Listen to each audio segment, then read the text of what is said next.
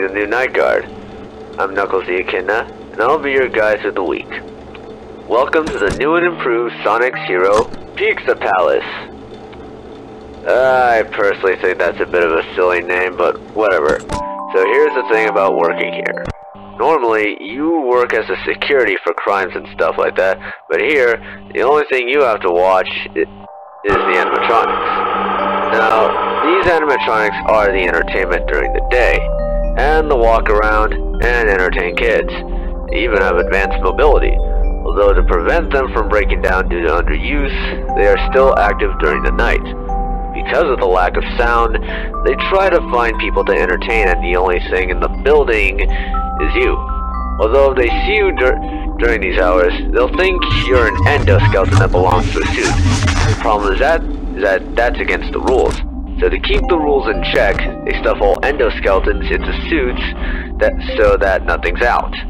But inside the suits are lots of wires and animatronic devices, which means if you get stuffed into one, well, you kinda can't live like that for long. But don't worry, even though there's no doors to close, we've given you an empty Sonic mask thingy.